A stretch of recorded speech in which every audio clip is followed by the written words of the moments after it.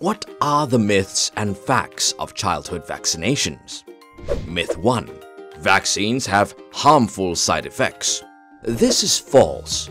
In fact, vaccines are generally safe. A sore arm, mild fever, or swelling may occur, but serious reactions are rare and can be avoided with proper consultation. Myth 2. Childhood vaccinations are unnecessary as vaccine-preventable diseases VPDs have been eradicated.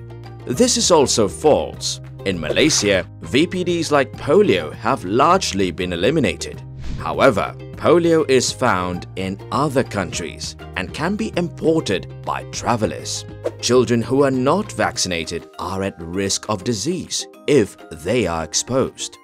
Myth 3 my child doesn't need vaccinations. My child practices proper hygiene and social distancing.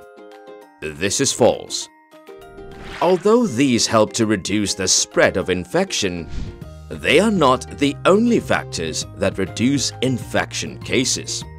Proper hygiene alone is not sufficient, as seen in outbreaks of measles, polio and diphtheria that emerged despite good hygiene. Widespread vaccination programs are also important in reducing infection cases. Myth 4. Taking multiple vaccines at once will overload my child's immune system. This is false. Multiple vaccinations won't burden your child's immune system. Studies show that combination vaccines, which are vaccines that protect against multiple pathogens, have no serious adverse effects. If you have any doubts or concerns about your child's vaccinations, consult your pediatrician.